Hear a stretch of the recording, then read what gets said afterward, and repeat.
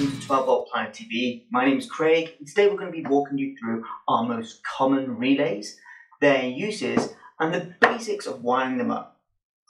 A relay is basically a switch that instead of being activated mechanically, is activated electrically. The most common type is an electromechanical relay. Uh, that works by applying a voltage to the coil of an electromagnet which pulls in a set of contacts to complete the circuit. Therefore, this allows current to flow through that circuit.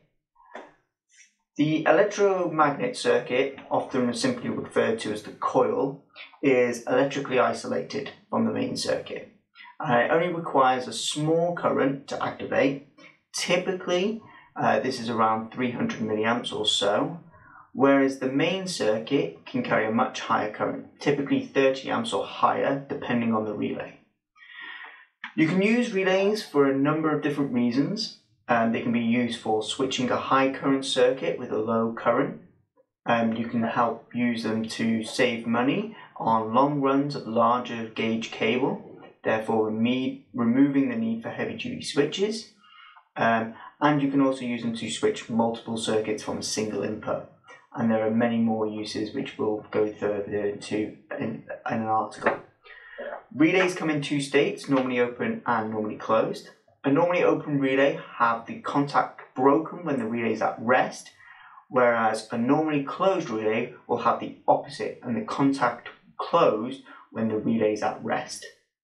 When we say at rest, we mean that the relay doesn't have any voltage applied to it at all. So if we take our basic mini relay, you can see it's about one inch cube in size. You will find we have a number of pins to connect to. Two of these pins are for the coil circuit and the remainder are for your main high powered current circuit. On every relay the terminals are marked to help you identify um, and so on a 4 pin relay you'll see we've got 85 and 86 which are the terminals for the coil 85 being the ground, 86 being your 12 volt plus feed. On 30 and 87, which are the terminals for the high current circuit, uh, terminal 30 will be your common and uh, or input, and 87 will be your normally open or uh, switch terminal.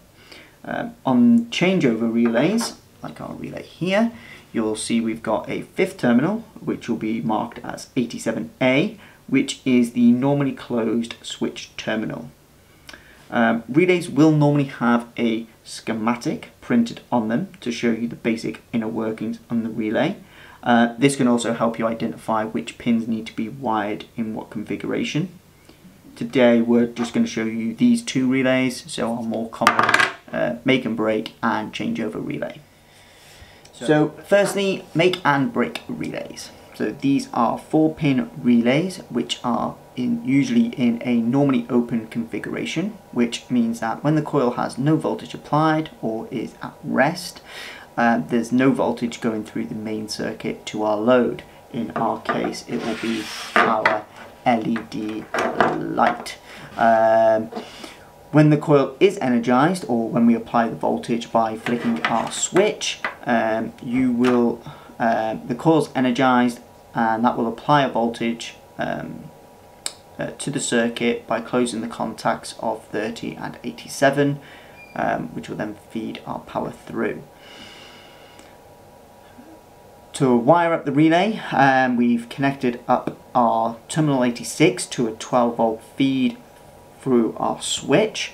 Um, we've also wired up terminal 85 for our earth Terminal 30 is our 12 volt uh, plus feed from our battery or power supply and 87 would then go to the positive side of our load which in our case is our LED light as explained. Um, so let's show you how this works in principle. So we've got our relay holder which we'll insert our relay into which has always been already been pre-wired into our configuration using various Wago connectors and cable. As you can see, so we'll apply our negative, which again is being shared through those Wago connectors, and our positive. Uh, we'll put up a wiring diagram for this, um, so you'll be able to see that also. Uh, so if we apply our power, you can see our LED light is off, but when we flick our switch, our LED light comes on. Um, so this can be especially helpful if you say have a 60 amp or 50 amp item that you want to power. Um, most switches are only rated for 16 amps so you could use a low current switch to activate a relay to then activate what would essentially say is a 60 amp LED light in this case. And there you have it, a simple make and break relay. Next are changeover relays. These have two output terminals that can connect to the common input terminal, which is terminal 30, uh, one of which is normally closed and one that is normally open. So when the coil is at rest, uh, terminal 30 is connected to 87A, and when the coil is energized, terminal 30 is connected to terminal 87. Uh, as you apply and remove voltage to the coil, the contact will flick back and forth, um, changing the output terminal um, that's connected to terminal 30. This is the reason for it being called a changeover uh, rather than just a simple make and break. Um, so to wire up these relays, you would connect your switch 12 volt feed to terminal 86. Uh, terminal 87 is your earth, terminal 30 is your 12 volt plus feed uh, that comes from your battery or in our case our power supply uh, terminal 87 goes to the positive of your first load which will be our LED light uh, which you can see and 87A uh, will go to the positive of your second which will be our second light which we will insert into our circuit now using our Wago connectors. Uh, so these are nice and simple so as you can see our two LED lights so if we insert our relay into the holder. Turn on our supply.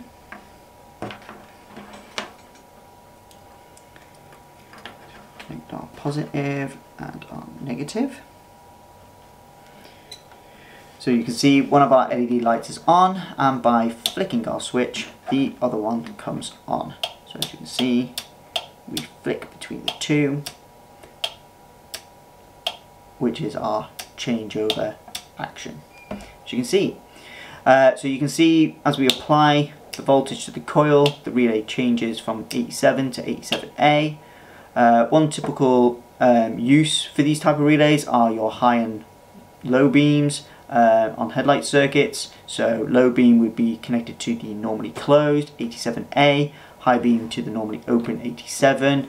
Uh, the low beam then would be on as default, and then as the coil is energized, uh, the high beam comes on, your low beam stays off. Thank you very much for watching. We hope you've enjoyed this video.